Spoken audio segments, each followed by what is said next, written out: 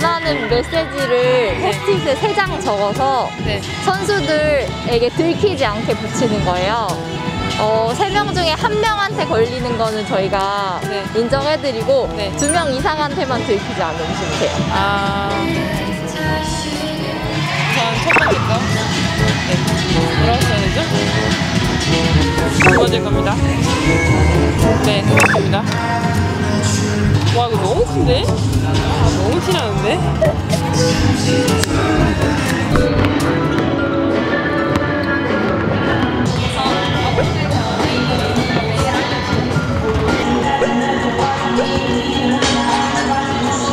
저걸 세 명한테 붙여야 돼? 어. 붙이면 싹 붙이면서 손이 너무 아프고 그거 알지? 어.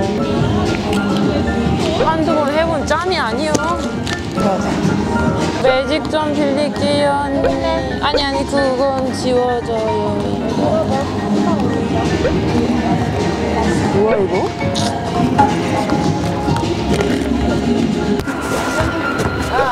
어? 아, 어떡해.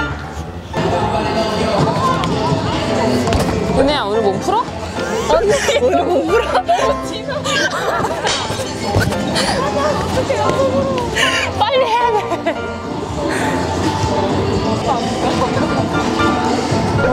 묻었다. 어떻게 알지? 뭐, 바보인 척 해주는 거야? 어. 아무것도 모르는데?